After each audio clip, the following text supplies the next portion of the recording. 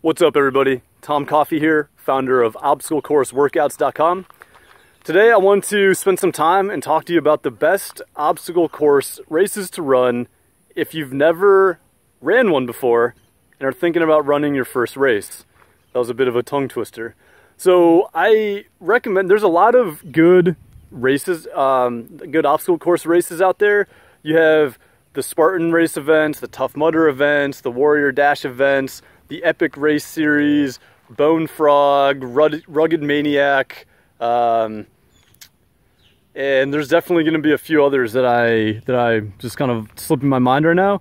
But what's cool about all these events, what whichever one you go to, they usually they actually all have events that are like three to five miles long, you know, 13 to 25 obstacles and they're great for advanced racers who want to you know test out their their obstacle skills uh, maybe go for a faster time but they're all, these races are also fantastic for beginners and i'm going to tell you why why i recommend starting with these ones. So starting with the with a shorter distance obstacle course race is really a great idea for a couple reasons. One uh, for one it'll give you a sense of if you even like obstacle course races or not. Some people, uh, I've known people to go and like they're they do the training, they get excited, they run their first race, and they're like, yeah, that I just didn't really enjoy that. But then they have you know purchased the, all this gear, they're into it for a lot of money and time, only to realize they didn't quite enjoy it and it's not really for them.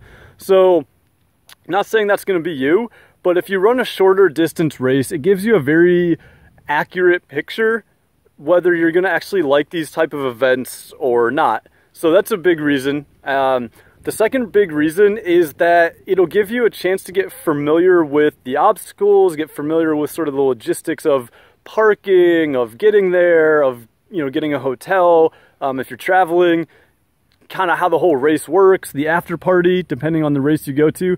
So it'll just give you a nice, it's a nice sort of low barrier way to get your feet wet with obstacle court race, obstacle course racing, um, get the lay of the land, build some confidence, and uh, and then you know keep crushing it from there.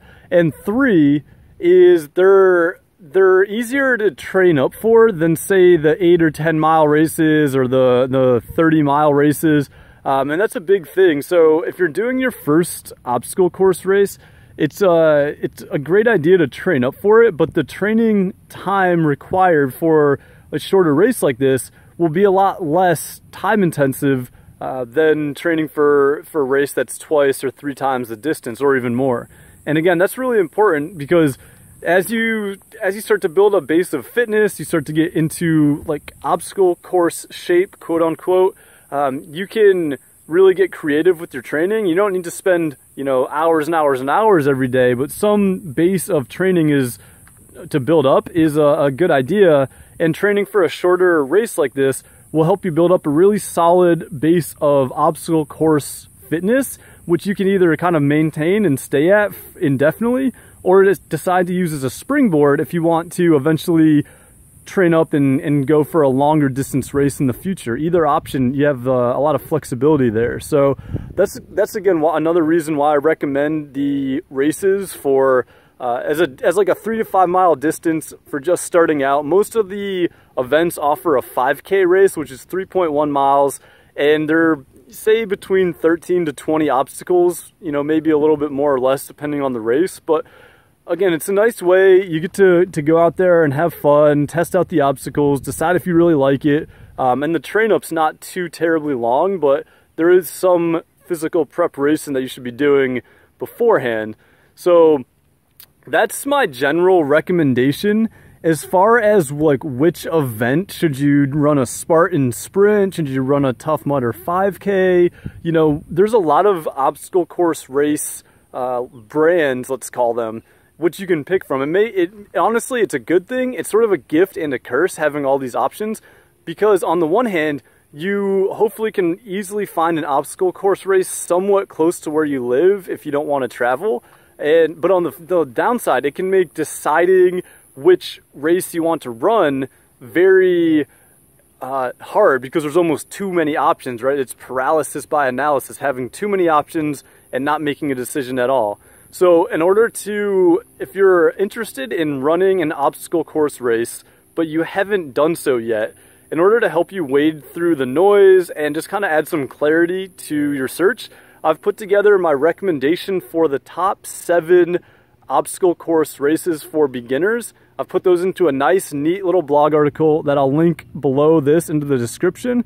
So if you're interested, go ahead and click that. It'll take you to the article on the website and you can go ahead and read through it. It sort of breaks down every event, um, like what to expect, about how long it is, how many obstacles it is. So you can get a nice sense of maybe which event, which venue kind of resonates more with you. Do you want to run a you know, three mile race? Do you want to run a five mile race? There's even one that's shorter. It's two miles with 40 obstacles, the Epic Race Series. Um, but again, it kind of breaks that down so you have a better lens to choose your first obstacle course race so it doesn't feel too overwhelming. Um, and again, you can read those those recommendations in the article. It's linked below this in the description, so give that a click and give it a read. It'll really help you make some sense of this. And I'm looking forward to uh, ho hopefully helping you get to the starting line on your first obstacle course race.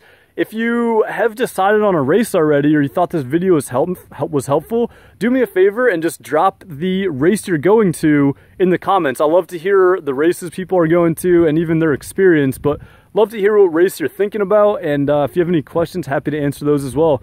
Again, I'm Tom Coffey with ObstacleCourseWorkouts.com. Talk to you later.